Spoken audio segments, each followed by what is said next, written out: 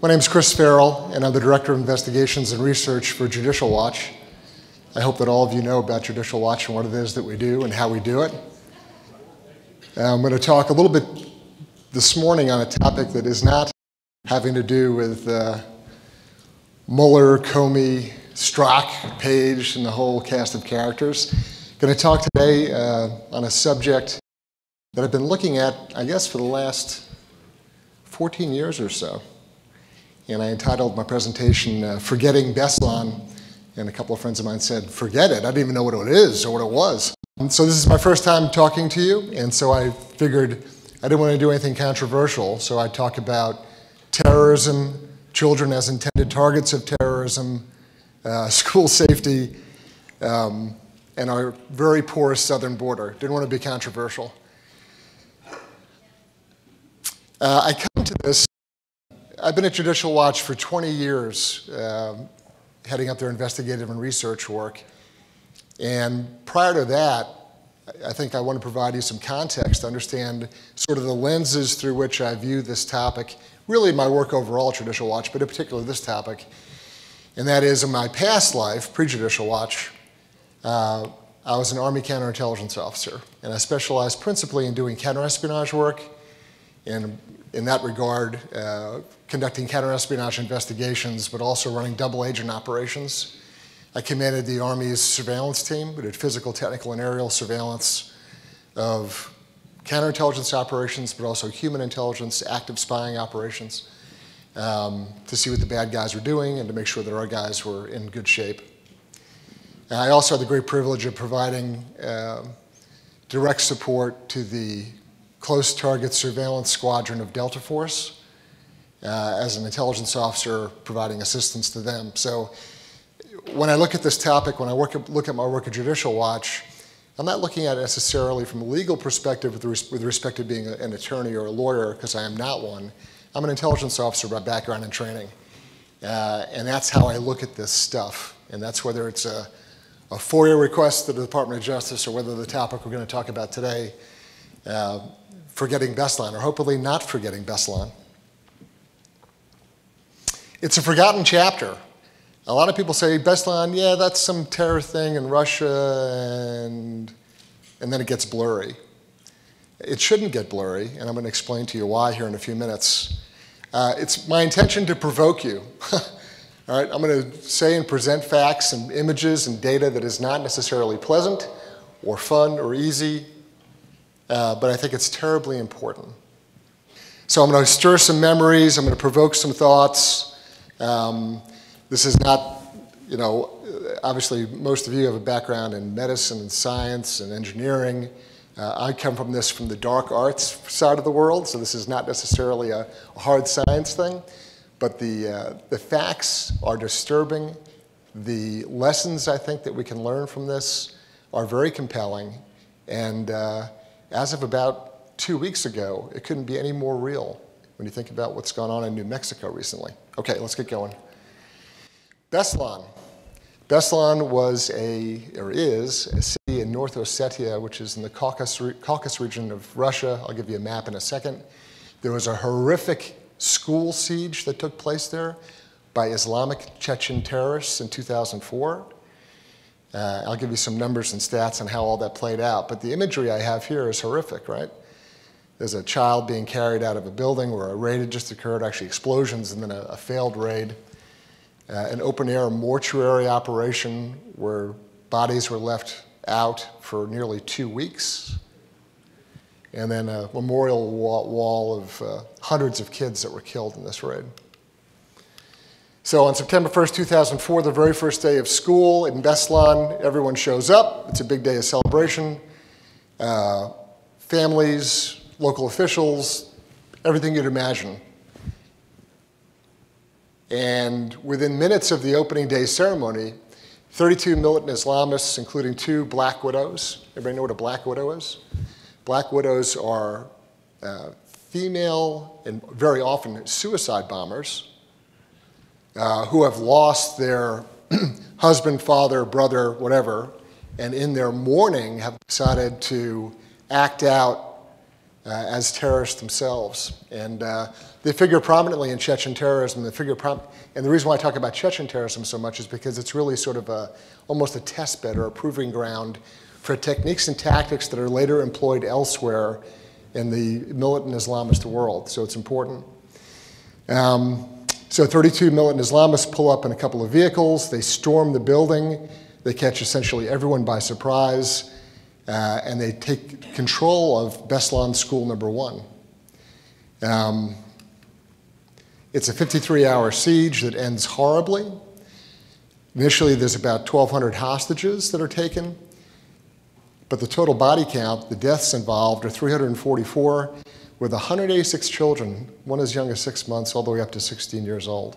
The reason why at a school they got a hold of a six month, year old, uh, six month child is that since it was the opening day, all the families and everybody showed up. So young mom or families walking in to take the second grader in, and of course the little brother or sisters there in arms. And they were all swept up by these guys as they raided the building. So a horrific body count, and of course 700 seriously injured. So you say to yourself, well, Chechnya, North Ossetia, what are you talking about? We're in the Caucasus region. And Chechnya, which has been, has its own history I'll talk about in a second, is right there. Grozny is pretty much dead center, the capital of Chechnya. And then Beslan, the city in North Ossetia that we're talking about, is right about there. Travel time from Grozny to, uh, to Beslan, about an hour and a half. That gives you an idea of geography as far as scale is concerned. But we're in the Caucasus. North Ossetia is principally a Christian uh, enclave or community. Chechnya is Islamists, which is also part of the dynamic in all of this, as you might imagine. So, Chechen terrorism is particularly brutal and nasty. The Chechens themselves fought two wars in the 1990s with the Russians. It was horrific. The Chechens themselves have engaged in a series, leading up to Beslan, have engaged in a series of incredibly violent, really kind of boundary breaking terror raids. One, a hospital siege uh, that ended poorly. Again, a three day siege. The Russian forces uh, raided the hospital itself. Uh, it did not turn out well. They also conducted a theater siege that some of you may remember, the Dubrovka theater siege. That's where 750, terror, uh, 750 hostages were held. Um, what's interesting is Russian special forces uh, who actually raided the theater itself uh, used a gaseous uh, substance to knock out everyone in the theater to conduct their raid. And uh, fentanyl is believed to be the component that actually kind of subdued everyone. They killed a bunch of people in the process, unfortunately, during the raid itself. Um, fentanyl will come up at the very, very end of my presentation, uh, sort of a preview of something I'd like you to think about. But this Dubrovka Theater uh, siege was particularly brutal and crazy because this is the first instance where you see these black widows I mentioned earlier, these female suicide bombers, completely dressed in black, wearing these vests. And the problem that the Russian special forces had in even dealing with this siege, and of course the Chechen demands are non-negotiable surrender kind of demands, right? All Russian forces must leave Chechnya. It's this broad sweeping things that no Russian government's going to do. So these are one-way trips, okay? These attacks are not something that's going to be walked and talked out. Uh, these are all, you know, sort of propaganda by deed if you go back 120 years when it comes to what they're trying to accomplish. And um, to give you an idea of the mentality, at one point, and this is from witnesses from people who were hostages, the hostage takers, the Chechens in the theater with their captive audience, were screaming at them, We want to die more than you want to live. That's the mindset. The terrorists want to die more than the hostages want to live. That's how they operate. That's what they're there for. They've engaged in a, campaign of train, truck, and stadium bombings. Um, and then probably one of the more sophisticated operations they pulled off was uh, two women in aircraft uh, hijacked from Moscow with a simultaneous suicide bombing on the aircraft. Both aircraft blew up within nine seconds of each other. So, if you want to talk about sophistication, planning, detail, the ability to pull off an operation, commitment to it, the logistics of it, the timing, all those components, these are not people to be trifled with. This is not a ragtag, slapdash operation. It's synchronized, it's serious, and it's incredibly deadly. Beslan, when I, we're going to talk about the details of it in a second, but sort of one of the, the, the takeaways is that they viewed it as an incredible victory. You know, they've accomplished the unthinkable. They have targeted children deliberately. They are the targets of terrorism. The lessons of all this terrorism are not forgotten or lost. They're implemented, right? They're duplicated, they're adapted. And over time, uh, Chechnya and Chechen terror operations have really proved to be sort of a test bed. IEDs, improvised explosive devices, Chechen. In the 90s, implemented or used against Russian forces in those two wars I talked about a few couple of slides back. They're the people who dreamed it up. Let's take old artillery shells, old mortar shells. Let's adapt and use them. How can we, how can we maximize uh, you know, a stockpile of shells from a, from a facility we've raided and taken over and use them offensively? We may not have the artillery tubes to fire them, but we can modify the, the, the artillery rounds themselves and use them in a way to blow up people, vehicles, munitions, etc. And frankly, before Beslan, I don't think anyone envisioned a pediatric mass casualty event like that. People would think of instances where there would be casualties, but mixed, but not specifically a pediatric mass casualty incident. And for my colleagues, medical doctors that I've worked with on this subject, uh, you know, what do I know about medicine? You know, zero. But you know, it's not okay. Well, cut the Tylenol in half and give it to the kid, right? There's unique, specialized medical questions with respect to treating children, particularly when it comes to shrapnel, wounds from gunfire, all those issues. It's just an entirely different set of medical requirements that frankly have not been evaluated or thought about. So here's the thinking. This is always somewhat poisonous. This makes you kind of want to wash after you read it. Suleiman Abu Ghaith, who's currently a guest of the United States in the Supermax in Florence, Colorado, thank goodness. Um, here's his thinking, though. We have not reached parity with America, we have the right to kill 4 million Americans, 2 million of them children, and to exile twice as many and wound and cripple hundreds of thousands. So, he's actually an in law of, of, bin Laden, or had, was an in law of bin Laden, Al Qaeda spokesman. That's from 2001, his, one of his proclamations, and I'm very glad that he's locked up. But this is not just one guy spouting off, this is documentation, right? And I'm a big believer in actually reading what our enemy says they're going to do to us and why they're doing it and how they're doing it. We ignore it at our peril.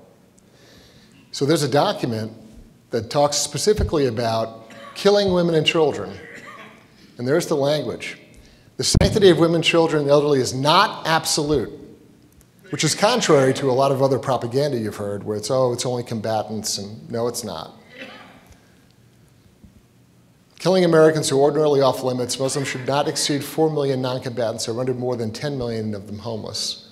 This is their language, their documentation, their thinking. This is what they're instructing their followers, their operators to do. So Beslan is seized. The school itself is seized. And this is sort of the, what happened. This is the, a diagram or a layout of how the the building itself, what, what was done. So the figures in red are obviously the terrorists, figures in blue are the children and some of the parents. And then around the room and across the room, so literally the perimeter and then overhead and then on top of basketball hoops, they strung explosive devices. The Chechens had experience from the Dubrovka theater raid, and they didn't ever want to be gassed again and, and rendered knocked out. So all the windows are blown out of the building. They start drilling holes in the floors of the gym because they don't want anybody sneaking in underneath them and launching an assault. They learn from their past, they, they implement, they adapt. It's very thoughtful. These are not reckless yahoos. They are very deliberate in what they're doing. So that gives you an idea of sort of the configuration of the layout of the, of the main room in which most of the hostages were held. And this is one of these things where it's very good, but it's very bad, because I'm going to show you video now of what was going on inside the school. This is a glimpse into the nightmare. Shaky video apparently taken at the beginning of the hostages' three-day ordeal. At this point, the terrorists were still putting together their homemade bombs and stringing cables from the basketball hoops with more explosives. At one end of the gym, a terrorist shows the hostages his foot on a book rigged as a switch to detonate the bomb. There are only the briefest shots of hundreds of hostages cowering on the floor. Children, families, grandmothers, some with their hands over their heads. A woman walks past the door holding an infant and a baby bottle. A group of men is off to the side, facing the wall. A voice off camera, apparently one of the hostage takers, says, wait, don't bring the children in here yet. Wait until everyone gets out. It's not clear what he's referring to, but the hostages are moving around, and witnesses say the children were allowed to go to the bathroom five at a time, picking their way through the wires and ducking under the bombs. In a doorway on the far side of the room, the shadowy form of a woman terrorist, dressed in black, her pistol cocked, the wires from her explosive belt clearly visible. One detail the unknown cameraman made a point of showing, a trail of blood running the length of the floor. Eyewitnesses say one man was killed in front of them and dragged away. At one point, another conversation is audible, possibly a voice speaking into a phone, saying in Arabic, for the sake of God and God willing. The Russians had claimed some of the hostage takers were Arabs, but these phrases are used by Muslims all over the world. NTV won't reveal how it got the pictures, and we don't know why they were made. But the grainy images capture a terrible moment. A room densely packed with people still praying for their lives, prayers which for so many were in vain. Elizabeth Palmer, CBS News, Moscow. That's pretty compelling stuff, or at least it is to me, and you can imagine what these people were going through. We'll talk about some of the impacts and consequences of being in that environment in a little bit. The terrorists themselves, there's actually, I think, a pretty informative, another little brief clip I want to share with you. The bearded man is considered to be the commander of the terrorists. Survivors told us he was called the Colonel. His real name is Ruslan Kuchbarov. He's from Chechnya, the republic at war with Russia. The man the colonel is speaking with is negotiator Ruslan Aushev. Aushev, a former Russian army general, now politician, was the only outsider to meet face-to-face with the terrorists. The terrorist leader told Aushev he was willing to negotiate for the release of the hostages. But before anyone would be released, the colonel took Aushev on a tour of the school. Along the way, at least 10 other terrorists can be seen. Aushev is then led to a bloody classroom on the second floor. Among the dead are teachers, school employees, and fathers. With the colonel and negotiator Aushev watching, the mothers painfully walked out the door. Each of these mothers was leaving an older child behind.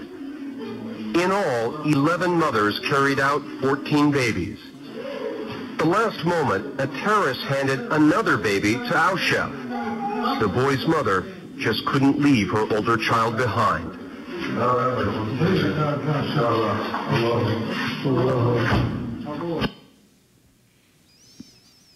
So, another glimpse into what was going on in the school itself. I've already talked about an elaborate network of IEDs with backup power, dead man switches. They showed that literally in the film itself.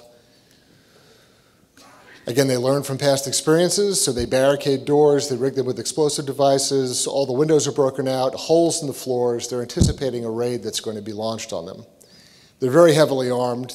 One of the Black Widows uh, is actually, later on, I'll, I'll highlight this, but one of the Black Widows themselves was actually detonated by the guy who was referred to as the Colonel. It appears that at some point they had lied to the crew that was conducting the raid as to the details of what they were trying to accomplish one of the women, one of the Black Widows, at some point became distraught. She was in a, in a room with a lot of the dads that were there because they were using dads to move furniture around and create barricades. So she gets in a fight, a verbal altercation with the guy you saw with the beard, the colonel. And as punishment and to demonstrate their commitment to the operation, she's in the room with the dads and the grandfathers that are there, and he detonates her.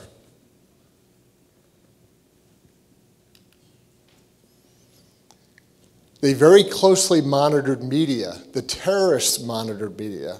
They wanted to know what was being said, how it was being characterized, what was being done. And the media, of course, were just pumping out everything they could and would say about what was going on.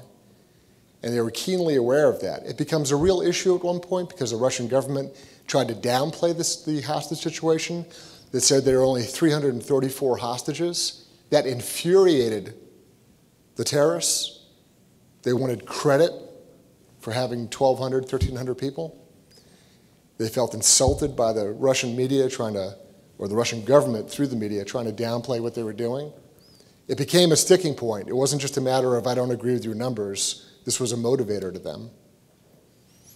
And interestingly, in this part of the Caucasus, you know, they kind of have their own history and their own tradition and their own culture and their own way of life, despite, you know, the, the legacy of Stalin. So all the civilians in the area happen to be heavily armed. Surprise, surprise. You know, there wasn't a household in, in the little town of Beslan, about 30,000 people in Beslan. There wasn't a household that didn't have a shotgun. And the local civilian population had seen what had happened in previous raids by Russian special forces on these kind of Chechen terrorist events. And they threatened the Army and the FSB troops that were there and said, if you raid this building, if you kill our kids, we're killing you.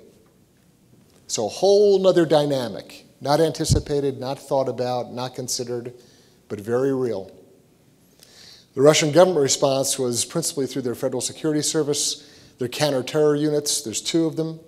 The Alpha Group, which is, uh, it has a long history of battling in Chechnya and of hostage crises. It's not an accurate comparison, but just to give you a ballpark, think of it as sort of the FBI's HRT, hostage rescue team.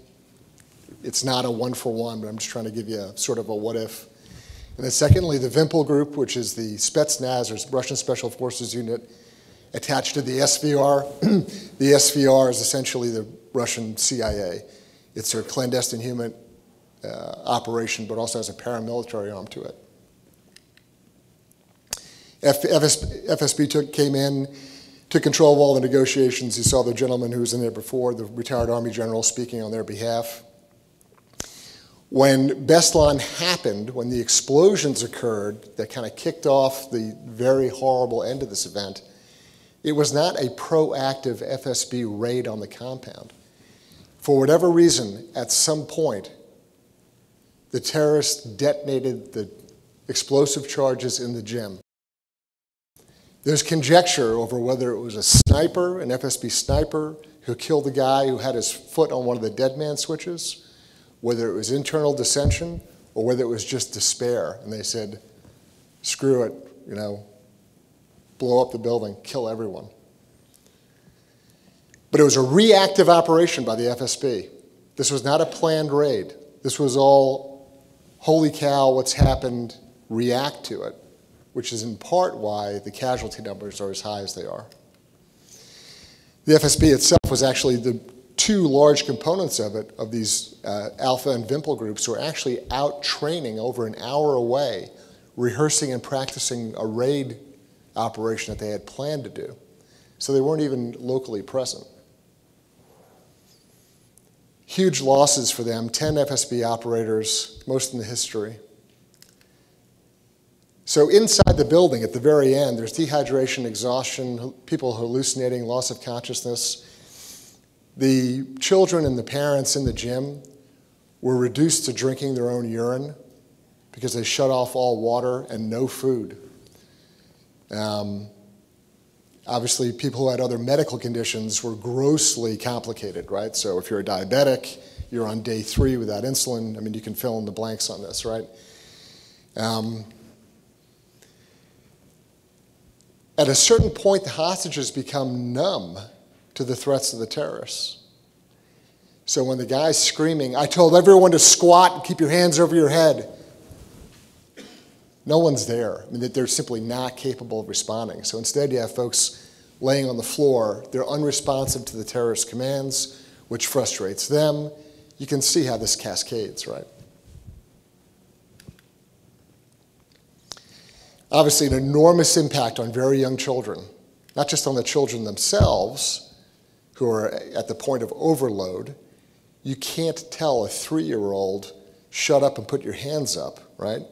This is not a cooperative hostage in the sense that they just don't understand or get it. All they are is scared.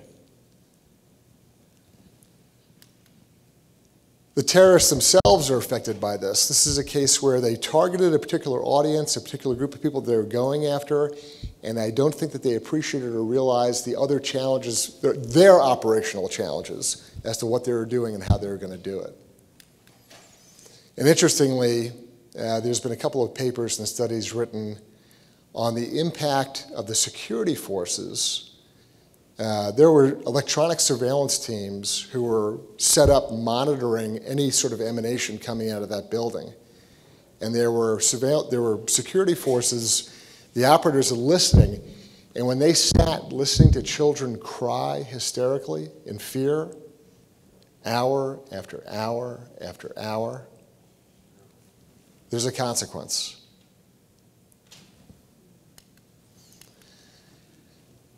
So children are now eligible as targets, deliberate targets of terrorism. It's been endorsed, it's been rationalized, it's been documented. Here's the, a creepy part of this I want you to think about. This kind of an event is irresistible to media irresistible. How will they not cover it?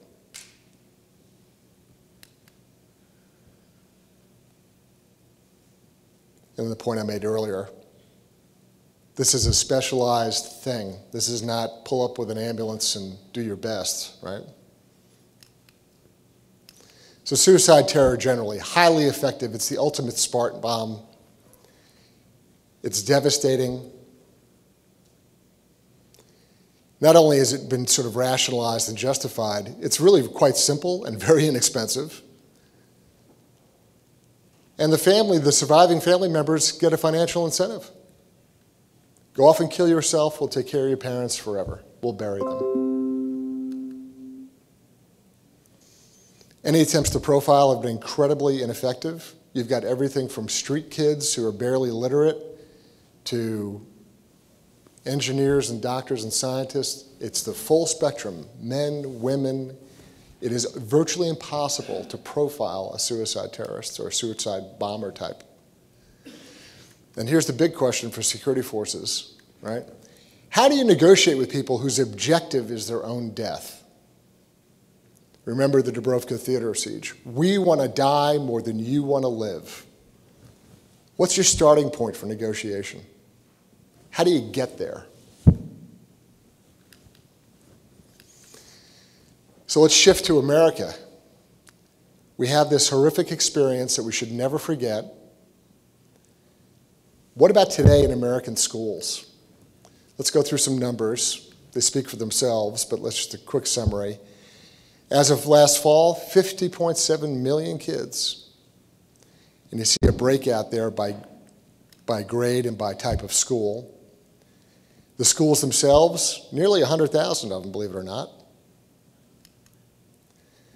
On any given day, 95% of the kids, 5 to 17, are in, in those schools. And 20% of schools have what's referred to euphemistically as school resource, resource officers. What does that mean? That means a local cop, right? Whether it's a deputy sheriff, city policeman. 20% of schools have at least one law enforcement officer. But even that's kind of sketchy because often you have one officer who's assigned to a whole district, so he's really covering three, four, five, six schools. So it's kind of sketchy. Uh, despite Beslan, the number in Russia, 6% of schools. But that gives you an idea on any given, you know, starting, well, now, but going through, you know, next May, that's where 95% of the kids are in the country every day. So after Beslan, I've been some, done some research and writing on really an interesting phenomenon wherein Wahhabi Arabs were moving into Chechnya to further inflame and, and really uh, make their movement even more militant. And so I had done a study uh, for Columbia University on the topic we're talking about today. And in looking at that, I was asked, okay, uh, you've got kind of a weird background. Go dream up our own worst case scenario. And so I did. Um, no offense to Tucsonians and Arizonans here, but I put it in Tucson because I know Tucson. In my past life as an Army intelligence officer, I was hanging out in Sierra Vista for a couple of years, and so that's right next door. And I said, well, look, you know, uh, let's take a, a town, a city near a border that's easily porously crossed, has limited sort of uh, capabilities, facilities to respond. Let's dream up a scenario, and so what I'm going to talk through now is a, a Tucson scenario. Frankly, it could be anywhere. I put it in Tucson for a variety of reasons you'll see in a second.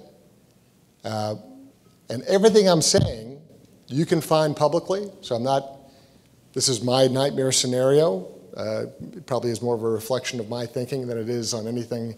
So it's all publicly available. Nothing in here is classified. Nothing in here is you know some kind of special technique or or process or sort of sort of classified information. But when I think we run through this and you think about it, you'll realize how dangerous our, our circumstances are. So the theory was come up with a coordinated militant Islamist attack on a on, on two schools, a hospital, and a police headquarters. All the stuff, like I said, is publicly available. The idea behind this being that a mass killing of non combatants, especially kids, would be a terrorist act on par with 9 11. Sadly, there are some very favorable conditions for staging exactly this sort of thing in Tucson. There's a classified document it's a joint analysis by FBI and CIA called the Arizona Long Range Nexus of Islamic Extremists, and it talks specifically about what I'm talking about. I took Congressman Steve King down to the border a few years back, and I kind of walked him and talked him through the challenges faced on the border. I also took him to some hilltops where some cartel spotters actually sit on U.S. soil on hilltops facing south and call their drug loads north. They're providing overwatch. In the context of doing that, Congressman King was stunned. I talked about this document, and I said, I can't get it. You know, we've FOIA'd it, we've sued for it. FBI claims they can't find it. CIA says they're not going to answer us. But I know it exists. And so Congressman King's assistant calls over to FBI and says, Hey, we'd like to see a copy of, uh, as soon as they uttered the title. Did Farrell put you up to this? because uh, they know that I want this document for a variety of reasons. Um, so there's a loose number, about one and a half million through southeast Arizona. And it's all very sophisticated, very complex, highly monetized, cartel driven. Three principal routes into Tucson one through the Altar Valley, one through Cochise County, and another through the Chiricahua mountain passes. I've got a, I'll show you a map in a second so that makes sense to you. Their objectives are real simple. One, get across the border. Two, make it to I 10. Three, get to Tucson. That's it. Those are the objectives. You can move 40 to 60 terrorists easily up those three corridors over a, three to, over a six to eight month period in small groups. They are raindrops in ocean waves, right? You can embed these folks in anywhere. For about 1500 bucks in Mexico and Tampico, Muhammad becomes Manuel with legit paper, all the right stamps, seals, photos, right? That's the cost to get in legit. And they, they're raindrops in a, in a wave. So, Altar Valley, so here's quick orientation. There's Phoenix, here's Tucson, here's the border, that's Mexico. That's the Altar Valley. That's the, and of course, this is not straight shot, but just for orientation purposes, right? That's the Altar Valley. This is Cochise County or the San Pedro River Valley, San Pedro Riparian District, that's what it's called. And then the third main route through here is the Chiricahua Mountains. Much rougher terrain, but much greater likelihood of getting in. Less patrolled, tough area to cross, but much lower visibility. So, over the last, let's say, 15 years, there have been dozens of Middle Eastern males being reported apprehended at the border. Specifically, Adnan Shukrijumah in Sonora, Mexico, but also Chihuahua. Adnan Shukrijumah is a key factor, or a key player, because he was the director of North American operations for Al Qaeda. He was blessed by bin Laden himself. He's a Broward County, Florida kid. He's totally Americanized. He's also dead now, thank goodness. But in 2009, he was running a, a truck bomb plot out of El Paso, Texas. I'll show you a slide on that later. There's two incidents in the Chiricahua Mountains going back into 04 where 77 males total over the two things. Caught by Border Patrol and then given a permiso, right? A permission slip to take off. It's a notice to appear. We'll see you in six months. And where did they go? Poof. And then just recently, I mean, this is as of earlier this month, Yemenis smuggled into Texas. There's, I mean, there's case after case after case after case of this. The Mexican foreign minister was remarkably frank a little over, well, I guess it's almost a year and a half ago. Claudia Ruiz, talks about how the Obama administration in particular was actively suppressing information and news about the number of Middle Eastern males transiting Mexico coming into the United States. Ms. Ruiz was incredibly honest. She says, look, it's culpably neglecting this phenomenon. This new wave of fundamentalists could have a nasty surprises in South the United States. That's the Mexican foreign minister talking about our government attempting to suppress information about the numbers and types of persons entering the country unlawfully. So there's tremendous terrorist support in place in Tucson and elsewhere for that matter, and it comes in all different sort of flavors.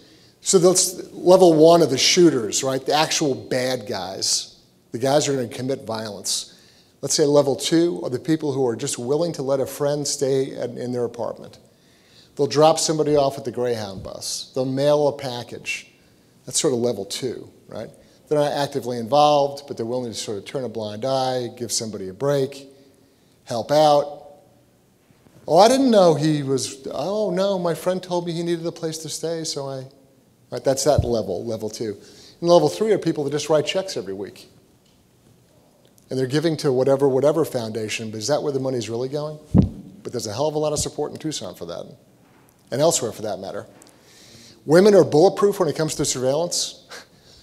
So let's say you want to conduct a raid and seize a school in Tucson. And so one woman pulls up in her minivan, one kid by the hand, the other on the hip. Into the school we go. What are they not going to tell her? Nothing. They're going to give her everything in the world. Here's our programs, here's our schedule, here's our this, here's our that hey, yeah, I'm moving into the neighborhood and we're just so excited to be here and da da da. Women are bulletproof at surveillance. They can go anywhere and do anything. So, all these soft targets we're talking about schools, hospitals, police stations women can go in and get away with virtually anything. And we know that they'll do that. They're going to use all the strategies and lessons from Beslan. They're going to, going to conduct this strike itself that I'll talk about in a second. They're going to use supplemental and diversionary attacks.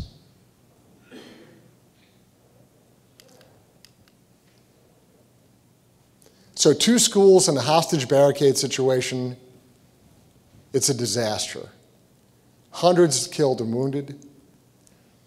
these supplemental and diversionary attacks, one at, let's say, the University of Arizona Medical Center and a second at, Phoenix, at uh, Tucson Police Headquarters, what do they result in? The attack and the siege themselves cripples the response. Two schools grabbed at once. We'll make it ecumenical. We'll grab a public school and a Catholic parochial school. Everyone's watching media. As those are grabbed, somebody with a backpack walks into the emergency room. Somebody else goes to the police station under the guise of, I heard there's attack, I'm worried. The attack itself cripples the response. I've briefed all this to Tucson PD, and I get that look, right? The deer look, a lot of, and big eyes, because they know it's true. Great guys, I'm not knocking them, but they had not necessarily thought through this. There's obviously huge, I can't go through all these because I want to stay, leave time for questions, but this is stuff that is just so painfully obvious, you got to think through it anyway, just to, just to enunciate it. The public health system response, security, when I say security, I just don't mean local police. Because if the scenario I just described happens, there's going to be other folks that insert themselves. And I just don't mean FBI and ATF. I mean, there'll be a response from the world of special mission units, meaning Delta's going to show up, SEALs are going to show up. There's going to be another sort of armed response. And how you juggle all that is huge, which gets you to the third point the command and authority. Who is in charge? we make the mistake of usually having about five people in charge, and that can be very deadly. The ability to synchronize and communicate among emergency response, fire, military, big, big questions. And the one that particularly always intrigues me is the bottom one, right? The media question. How is that handled? There's like, there's like a thousand angles to that, a thousand. This is not hypothetical. Earlier this month, I'm sure all of you know about this, right? Please tell me you do. Amalia, New Mexico, a compound, northern New Mexico. It really started out as a domestic, uh, domestic violence sort of, you know, child kidnapping thing. FBI sat on this compound for months and did nothing, zero. It was the local county sheriff, Taos County Sheriff, who was going out on sort of a health and welfare check over the disputed custody of a child. Sadly, they found that child buried on the compound. Inside this compound, 150 foot long tunnel with a secret escape route, weapons caches, places to sleep. Here's what really creeps me out. Do you know what they've already done to this compound? Bulldozed it. Why? Hey, if I'm bringing a case against this bad guy, this lunatic here, who's the son of a bad guy, wouldn't I want to bring a jury out here, walk him through? Why is it bulldozed? A few years back in Minneapolis, an apartment complex occupied solely by Somali men blew up in a gas leak explosion. Before they could clear all the bodies out of the building, they were bulldozing it. Why? I sent an investigator there for three weeks. It, there's no good explanation. So these compounds are not unusual. This is a hat tip to uh, Clarion Institute.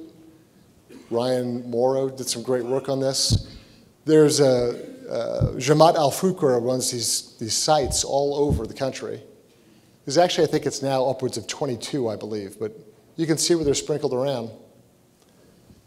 So this is not anything new or different or rare, but we have this sudden sort of amnesia where we either don't think about these sorts of subjects or all of a sudden we lose, we can't see in that spectrum of light anymore. We're blind to it. And we need to correct that, right? We need to recover the amnesia and broaden our ability to see in certain spectrums of light with respect to this. So, some recommendations. Obviously, you all realize that the Department of Homeland Security has no idea who's currently in the country, right? You know that. They don't have the slightest idea who's here. Whether it's visa overstays or whether it's the human wave coming across the border, they don't know who's in the country. I'm not exaggerating. So it might be a good idea if we found that out. We should probably also secure our southern border.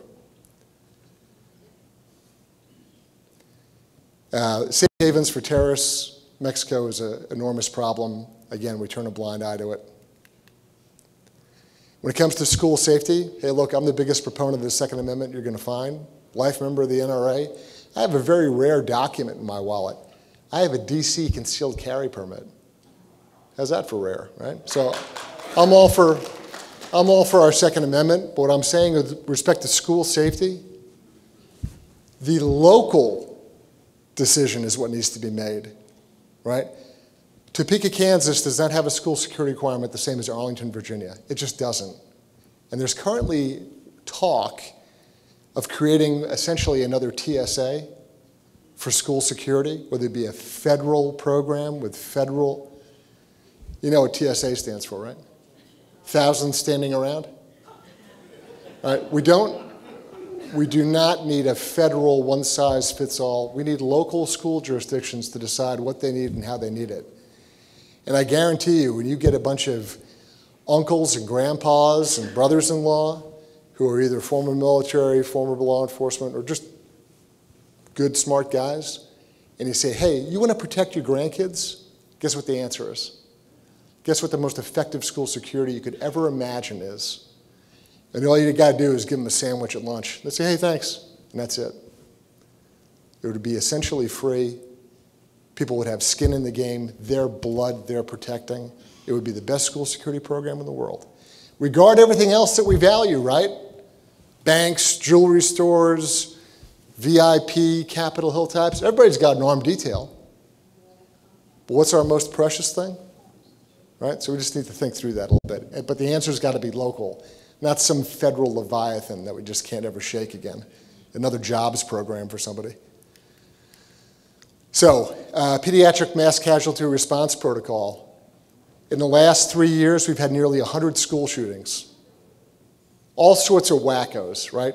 And again, I'm not, I'm the most pro Second Amendment guy you're going to find. But the fact is, in the last three years, almost 100 school shootings. So we need to have thought through it more than, hey, call all, you know, every ambulance for the next three counties. There's got to be something greater than that. I want to give a shout out to my friend and colleague, Dr. Steve Hatfill, because in the last 14 years of looking at this, and I look at it a lot, the best answer currently available on the books, in writing, planned, teachable, literally the PowerPoint slides are there, are his programs for tactical emergency casualty care and a rescue task force. So maybe some other date, some other time, he can talk about that. It's the best thing out there, and frankly, I think it's our answer. So thank you, Steve.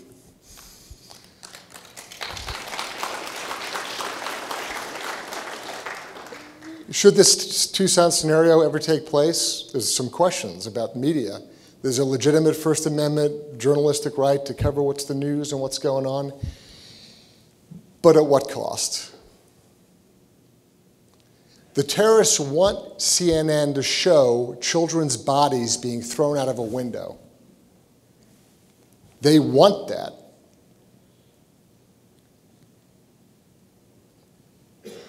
Does the American public have a right to know that? A cautious, well, yeah, because it's factual and it's true and it's horrific. Can't cover it up, can't lie about it. But where does that fit in the equation of what the terrorists hope to achieve? How does it paralyze the country? So it's just, these are very important questions. This idea of jujitsu, right? We're going to use their strength and effort and energy back against them. How do we do that? And stay true to the Constitution, true to legitimate journalism. Notice I say legitimate, right? Legitimate journalism, true to the public's right to know. These are not easy, easy questions to answer, but I think we need to bat them around. If you're interested more in about sort of all the weird creepiness that never gets reported concerning our border and terrorism, I'm not going to play it here, but The Sun City Cell is a documentary I made, 48 minutes. It's a narco terror plot for truck bombing in Chicago. It was based out of El Paso, Texas. Adnan Shukrijumah, I mentioned before, was the ringleader of it. A guy named Imad Karakra, who's been described to me as a crazy, dangerous thug, was set loose by the FBI in Chicago after he drove through the city at 80 miles an hour on a high speed chase with an ISIS flag flying out of the side of his car.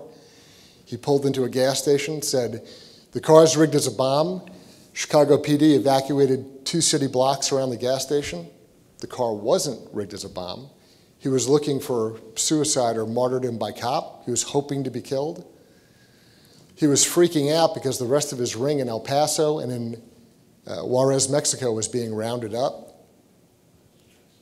Literally, there was a CIA paramilitary officer, a 7th Special Forces Group officer, and a squad of Mexican Marines kicking down doors in Mexican hotels looking for Imad Karakra's counterparts.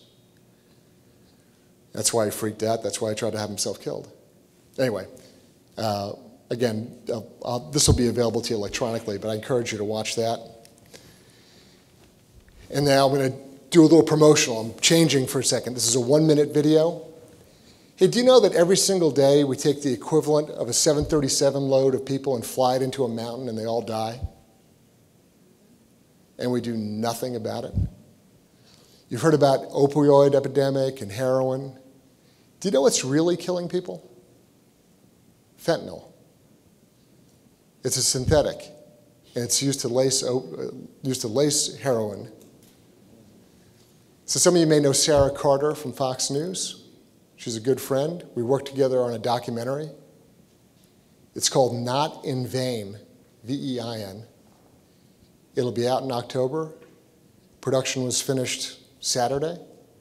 Not just the production, the actual editing, composition, and everything else. So, um, the equivalent of a plane load of people overdoses and dies from fentanyl every single day in this country. How many times would we watch planes fly into a mountain on the daily news and say, oh, well, oh, well? I was talking to the Franklin County coroner in Ohio. Ohio is actually the epicenter of heroin uh, and opioid abuse in the country, believe it or not. Franklin County coroner, which is uh, Columbus, talking to her, they had to go out and go get refrigeration trucks to hold all the bodies because they had overflowed their capacity at the, at the county morgue. And so I said, well, you know, this heroin thing, opioid. She goes, no, no, no, no, no, let's be very clear. All the dead bodies in my morgue, it's all fentanyl. It's a horrific problem. Anyway, let me show you something.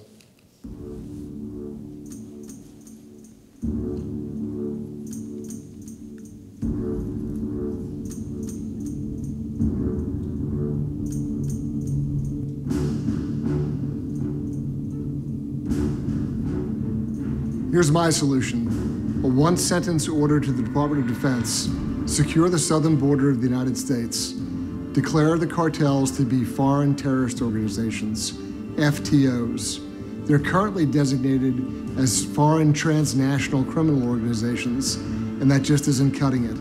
When they're declared to be what they are, terrorist organizations, you give the Mexican government a choice. They can cooperate and get on board and help us to fight them as what they are, terrorist organizations, or we can do it ourselves. But making those designations would change the playing field dramatically.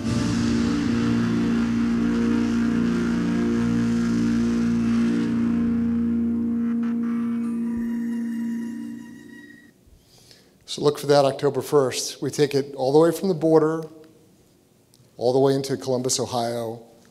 Sarah Carter, myself, and a very, very brave former gang member, now pastor in Columbus, walking the streets to see what the impact is. It's powerful stuff, and uh, I hope you see it. So that's me, and I'm on time, I think. I am, and I'm ready for any questions.